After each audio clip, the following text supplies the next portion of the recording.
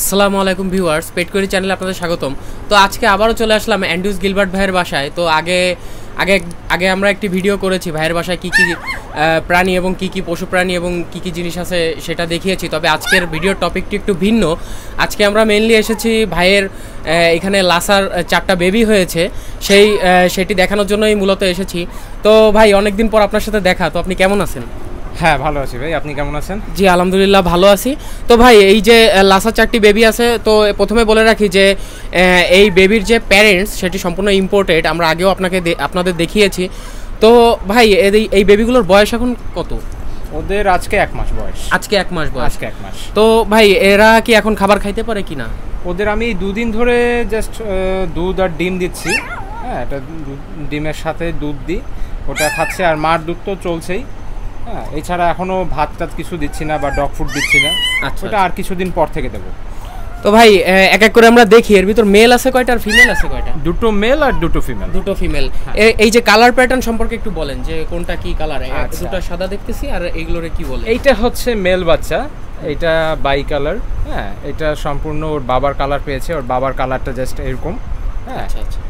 আচ্ছা এইটা হচ্ছে ফিমেল বাচ্চা এটা সম্পূর্ণ হোয়াইট এবং এটা ওর জাস্ট মার কালার ওর মা হচ্ছে সম্পূর্ণ সাদা কালার হ্যাঁ। ফিমেল বাচ্চা এবং এর কোট কোয়ালিটি বাচ্চাগুলো কোট কোয়ালিটি অনেক সুন্দর। এদের কোড হ্যাঁ। সম্পর্কে একটু বলেন এর কি আবার ডাবল কোড বা এরকম কিছু আছে না লাসা মূলত দুটো জাত হয় একটা লাসা অ্যাপসো আর একটা লাসা।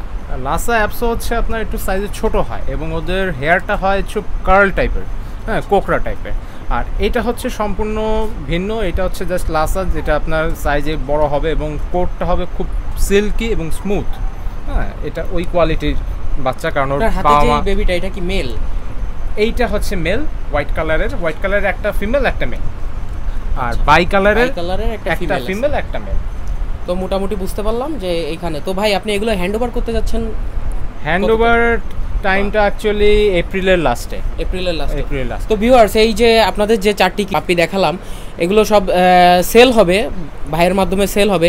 তো ভাই যারা নতুন যারা লাসা আপনাদের আপনার এই ভিডিও দেখে যারা নিতে চায় তাদেরকে আপনি কি টিপস দিতে চান? মানে লাসা তারা কীভাবে পালবে? আমি জাস্ট একটা কথাই বলব যে লাসা সম্পূর্ণ ফ্যামিলি ডগ লাসা কিন্তু ওয়াচ ডগ না।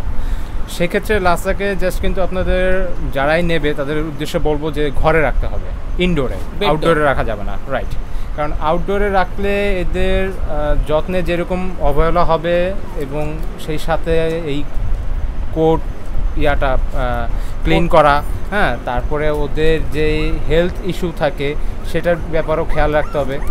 যে বাইরে থাকলে যেটা হয় এরা কিন্তু লোমগুলো আস্তে আস্তে ময়লা হবে লোমে জট হবে হ্যাঁ সেই ক্ষেত্রে এদেরকে ইনডোরে রেখে ডেইলি ব্রাশ করতে হবে। এবং আরেকটা বিষয় হচ্ছে লাসা খুবই ইন্টেলিজেন্ট একটা কুকুর।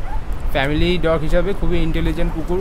এরা ছোটোবেলা থেকেই খুব কথা শোনে খুব অবিডিয়েন্ট হয় হ্যাঁ। তো সেই ক্ষেত্রে যারা নতুন কুকুর পালতে চায় তাদের জন্য লাসা হচ্ছে বেস্ট ডগ লাসার জন্য ফুড হ্যাবিটটা কি হওয়া উচিত? ফুড হ্যাবিট ওর জন্য মূলত ছোট যখন থাকবে তখন তো দুধ অবশ্যই। আর তাছাড়া ওর ডগ ফুডটা দিতে হবে।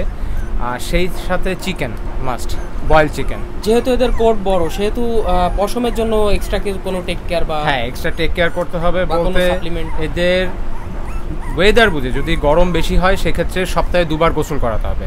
সপ্তাহে দুই সপ্তাহে দুইবার। গোসল করানোর পরে অবশ্যই গাটা ভালো করে শুকিয়ে দিতে হবে। হেয়ার ড্রাই হোক বা টাওয়াল দিয়ে হোক, যেভাবে হোক, শুকানোর পরে গা ভালো করে ব্রাশ করে দিতে হবে। ব্রাশ করানোর পরে যেটা করতে হবে, মাসে একবার ফ্রন্টলাইন স্প্রে করতে হবে। ফ্রন্টলাইন স্প্রেটা ইউজ করলে হয় কি, টিক ফ্লিয়া এই ধরনের কোনো জিনিস গায়ে আর হবে না। তো ভিউয়ার্স আপনারা দেখতে পারলেন যে এখানে লাসার বাচ্চা আপনাদের দেখালাম। তো আপনারা যদি কেউ নিতে আগ্রহী থাকেন বা আপনারা যদি কেউ নিতে চান, তাহলে ভাইয়ের নাম্বার দেওয়া থাকবে প্লাস আমাদের নাম্বার দেওয়া থাকবে। আপনারা যোগাযোগ করে নিতে পারেন। তো ভিউয়ার্স আজকে এ পর্যন্তই। আর আমাদের ভিডিওটি ভালো লাগলে আমাদের চ্যানেলটিকে সাবস্ক্রাইব করবেন এবং লাইক কমেন্ট শেয়ার করবেন। ধন্যবাদ।